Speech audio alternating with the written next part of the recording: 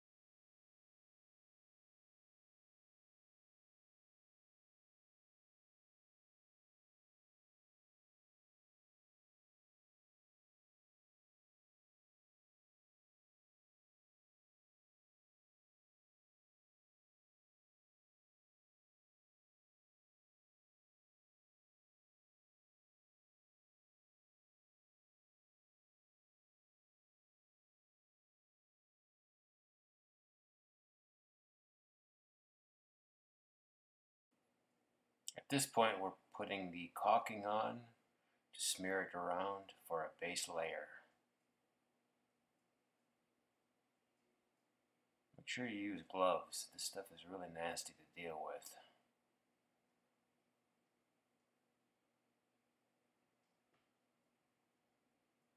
Make sure it's smooth and inside your face appliances that you're going to stick on later.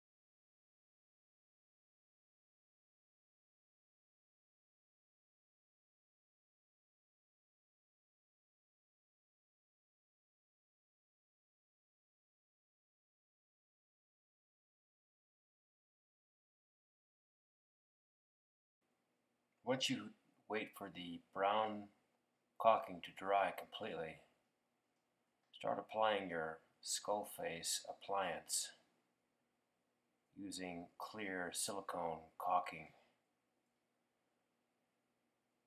To avoid drifting of your appliance, put in pins to make sure they it stays put